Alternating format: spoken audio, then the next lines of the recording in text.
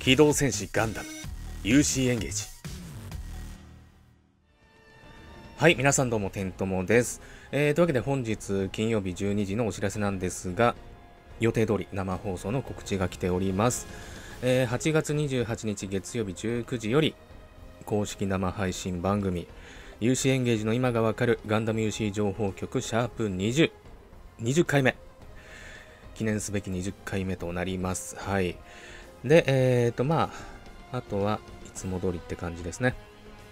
はい、次月のストーリー更新情報、最新ガシャ情報、で、イベント情報、アップデート情報、キャンペーン情報、配信記念キャンペーン、関連商品コーナーということで、あ、今回まだ限定ガシャ予想してませんでした。これからちょっと予想して、また土日に動画出せたら出したいと思います。はい。で、えー、今回これで終わると早いので、えーと、昨日言っていた通り、レードバトルの編成をちょっと紹介したいと思います。で、今回紹介する編成なんですが、これは、あの、本来であれば、前回のクランバトルが終わってから紹介する編成と言っても過言ではないというか、そう、あの、前回のクランバトルとほとんど同じ編成を今使っております。そう、昨日ね、クランバトルのお知らせで過去最高順位になったって。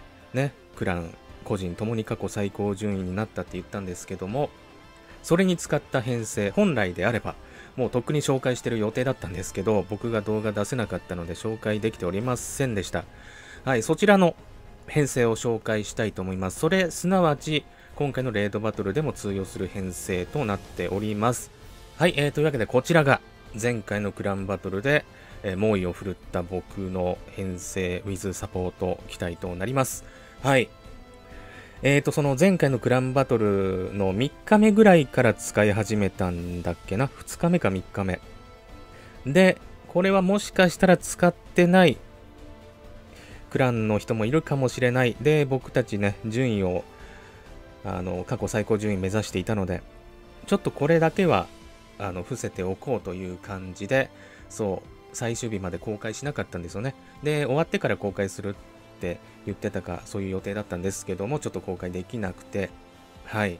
まあ、上位勢とか猛者の方なんかはね、普通に気づいて使われていたと思うんですけど、まあ、それか他にも最適解な編成があったのかもしれないんですけど、はい、えー、ということで、で、もうすでにあの情報が出てるとは思うんですけども、僕から情報は、この情報は出していなかったので、はい。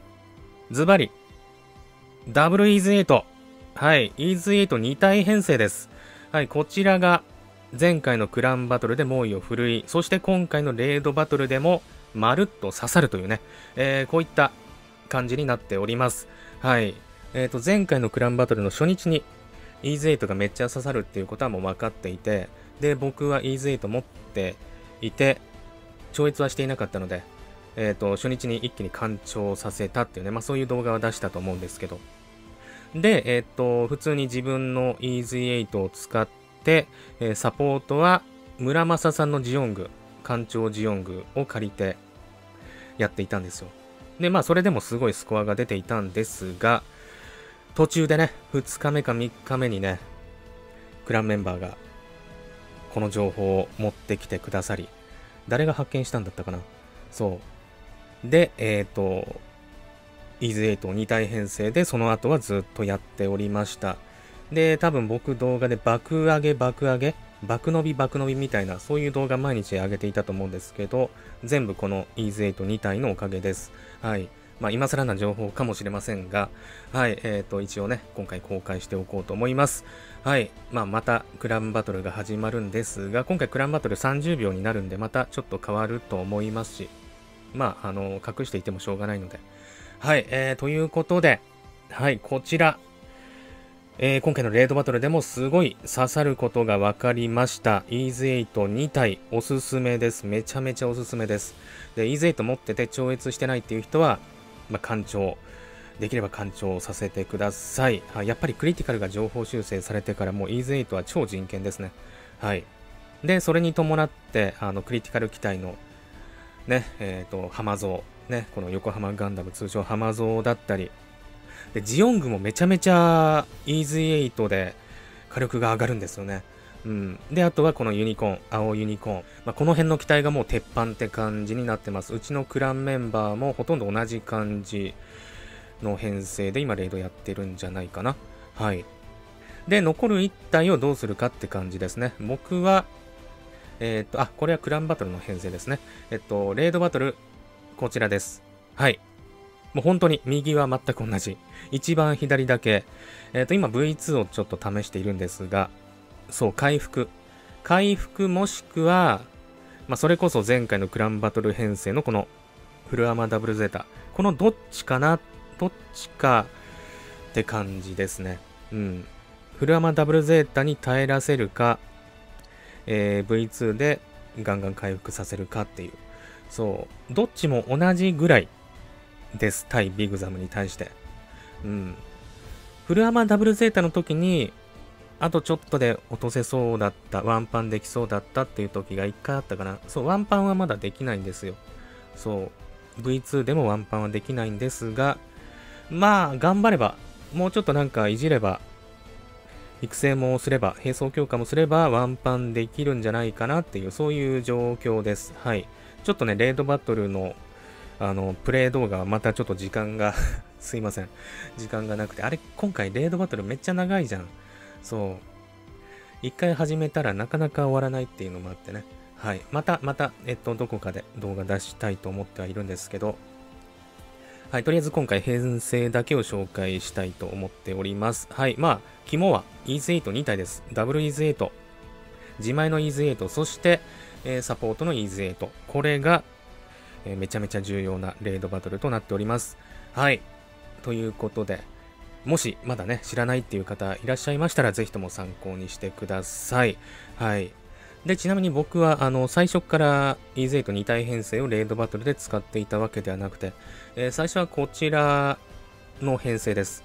はい。フルアーマーユニコーン。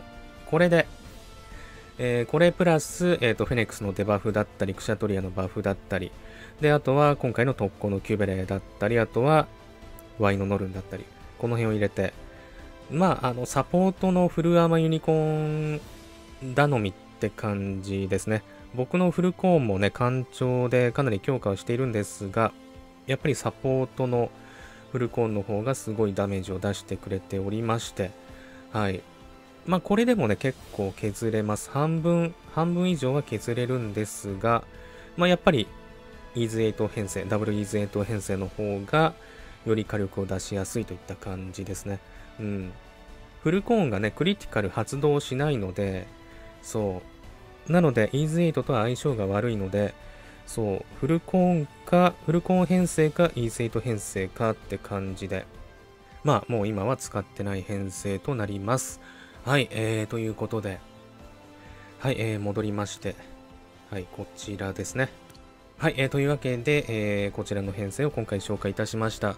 えー、もうちょっといろいろ、あの、いじってみて、なんとかワンパンできるよう頑張ってみたいと思います。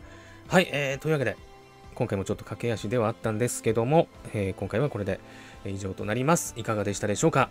良ければいいねチャンネル登録よろしくお願いいたします。それでは、また次の動画でお会いいたしましょう。ジーク、ジオ。